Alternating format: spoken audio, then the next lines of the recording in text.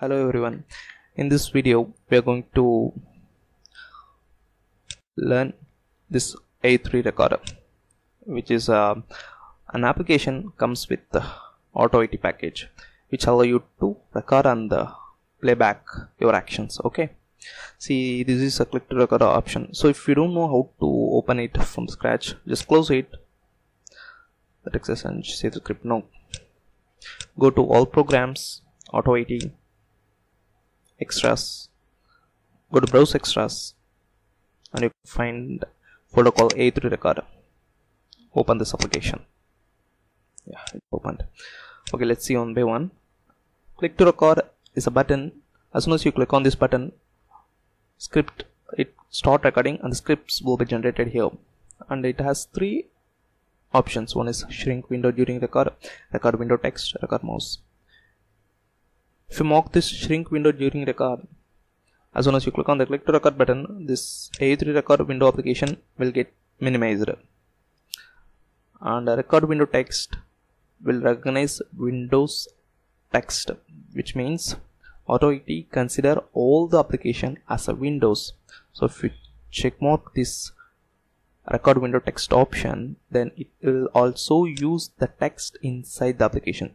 For example a3 record this is an application and it having this a3 3.3 made for AutoIt v3 is a window title and this click to record a shrink window during record. These are all the text of this window. So if you enable it will recognize this record window text as a text okay?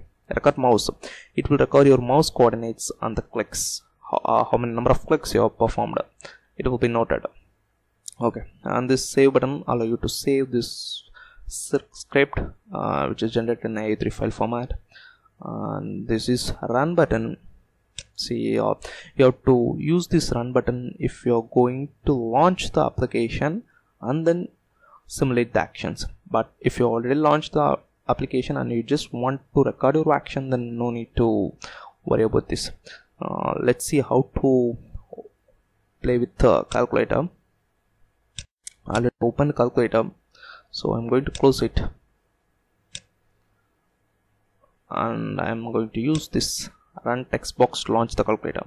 You should provide where your calculator application is. My calculator application present in this path. But of course it may vary depending upon the OS version. Calc.exe followed by you have to give the path followed by the file name. Okay.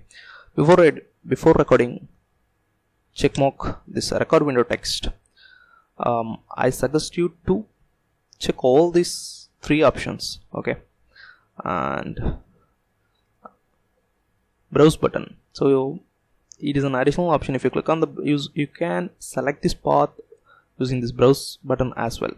So I'm directly paste it here but if you click on the browse button it will ask for where the file exists and you can select your application followed by your file name.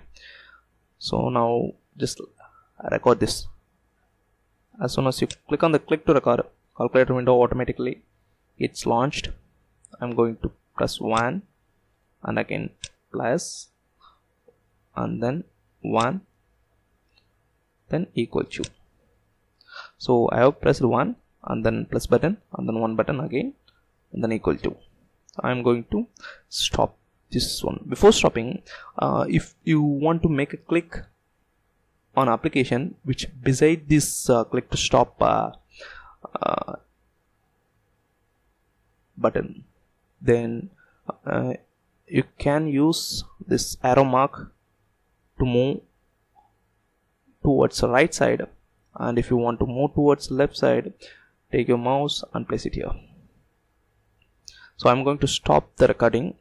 Click on the click to stop. See this is your scripts au3 AutoIt scripts got generated for your actions. So as of now no need to worry much about the script. We will discuss all these functions and the parameters in detail in the upcoming chapters. So first save the script. Save it as test come open. Script saved. Okay. So close it. Uh, this AU3 recorder.